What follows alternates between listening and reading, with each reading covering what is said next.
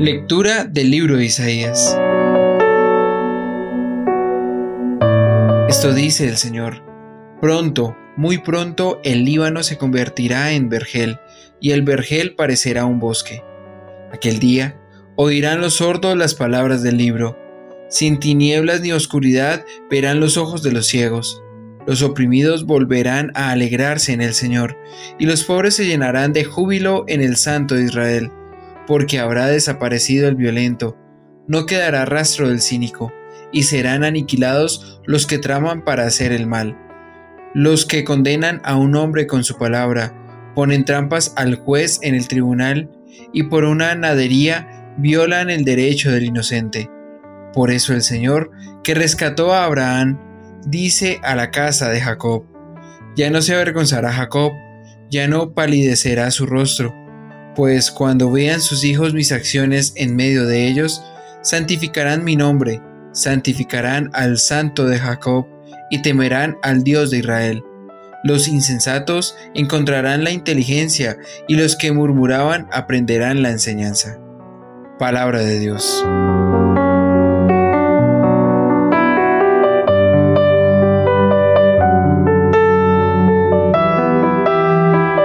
El Señor es mi luz y mi salvación.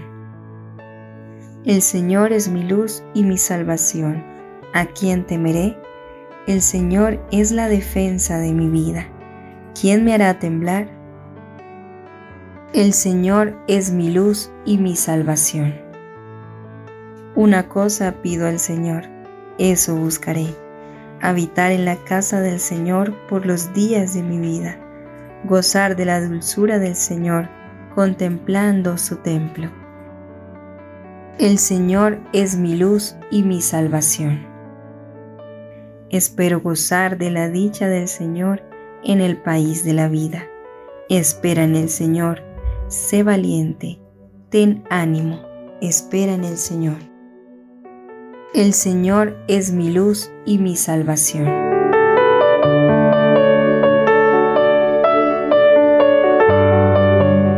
Padre Cifrán, vamos a poner mucha atención en este Evangelio, ver cómo el Señor sabe escuchar el corazón de aquellos que le suplican, porque Él es amor, misericordia, y viene a transformar la vida de la humanidad. El Señor esté con ustedes. Lectura del Santo Evangelio según San Mateo. Gloria a ti, Señor. Cuando Jesús se iba de allí, le siguieron dos ciegos gritando, Ten piedad de nosotros, hijo de David. Y al llegar a casa, se le acercaron los ciegos y Jesús les dice, ¿creéis que puedo hacer eso? Dícele, sí Señor. Entonces les tocó los ojos diciendo, hágase en vosotros según vuestra fe. Y se abrieron sus ojos. Jesús les ordenó severamente, mirad que nadie lo sepa. Pero ellos en cuanto salieron, divulgaron su fama por toda aquella comarca. Palabra del Señor. Gloria a ti, Señor Jesús. Vamos a pedir la luz del Espíritu Santo para comprender esta palabra. Cómo el Señor puede sanar el corazón del que cree y hacer ese gran milagro para que estos ciegos puedan ver, puedan vivir esos grandes prodigios del amor del Señor. Espíritu Santo, ven sobre nuestra vida, sobre nuestra historia, que nos haces comprender esos regalos de amor y misericordia, porque sabes escuchar el corazón, porque haces milagros, prodigios, para que así, perseverando, podamos dar testimonio de tus maravillas. Acompañado del amor maternal de la Santísima Virgen María con todos los santos y ángeles de Dios. Mis queridos hermanos y hermanas, veremos que el Señor iba a distintos lugares. Algo interesante es que lo seguirán dos ciegos gritando. ¿Cómo lo siguen si no ven? Es su fe la que los mueve a ir ante Jesús. Que no ven físicamente, pero sus oídos están atentos para seguir los pasos del Maestro. Dirán, ten piedad de nosotros, hijo de David. ¿Quién sabe qué pecado habrían cometido? Pero reconocen delante del Señor sus errores. Al llegar a casa se le acercaron los ciegos y el Señor Jesús le dirá, ¿creéis que pueda hacer eso? Ellos sin dudarlo dirán, sí Señor. Ahora tengo esta pregunta, ¿crees en el Hijo de Dios? Porque Él hace milagros, prodigios, hace las cosas nuevas, pero sobre todo quiere nuestro corazón. Que nuestras palabras no solamente sean de labios para afuera, sino que salgan de las entrañas, para que podamos entender que Él nos ama y que hace cosas grandiosas. ¿Qué hará el Señor? Les tocó los ojos diciendo, hágase en vosotros según vuestra fe. Como hoy nos preguntará a ti y a mí, ¿tenemos fe? Se le abrieron los ojos. Jesús les ordenará severamente que nadie lo sepa, pero ellos de su alegría no lo pueden callar. La gente los conoce y dirán que el Señor Jesús ha hecho cosas grandes en su vida, porque ellos que estaban ciegos ahora pueden ver y darán testimonio del Hijo de Dios. Por eso cuando oremos, entregamos nuestro corazón. Sepamos esperar en el Kairos, que es el tiempo de la bendición de Dios para nuestras vidas.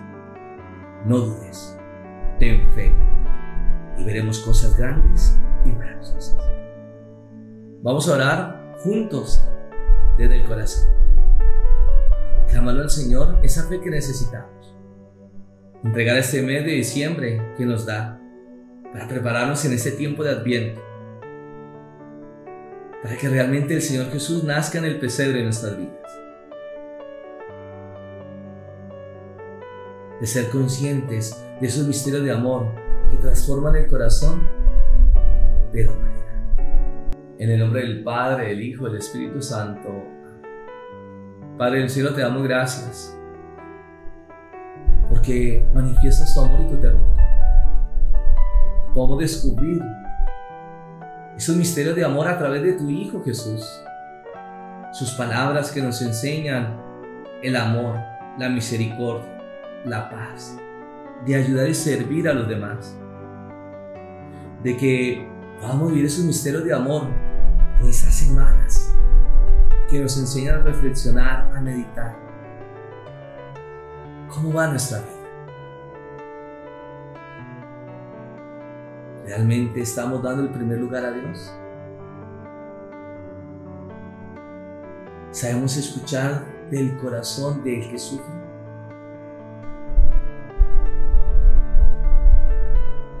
A través de nuestras oraciones, Dios nos invita cada día más a que podamos entender el sentido de la vida.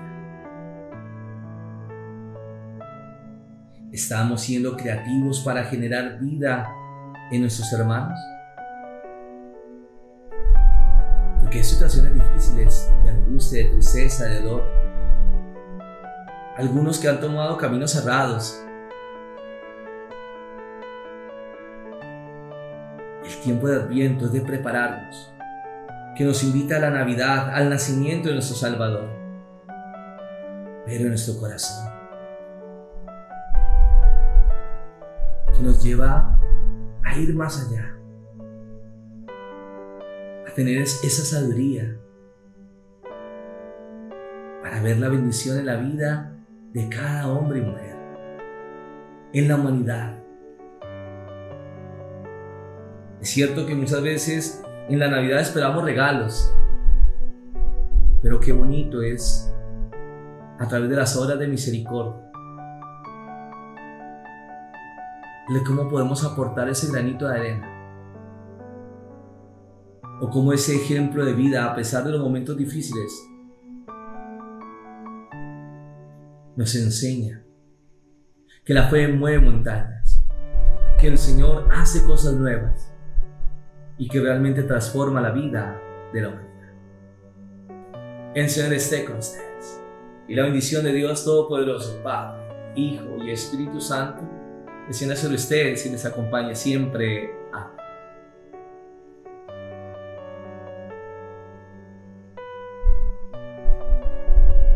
Qué bonito es ver los milagros del Señor y aquellos que han vivido momentos difíciles. Pero son testimonios que arrastran, que nos llevan a dar pasos firmes en la fe, a estar siempre en el Señor, porque de Él somos. Y esa promesa que nos da para algún día heredar la vida eterna. Qué importante es preparar nuestra vida, nuestro corazón y ser servidores de nuestro Señor. Bendiciones.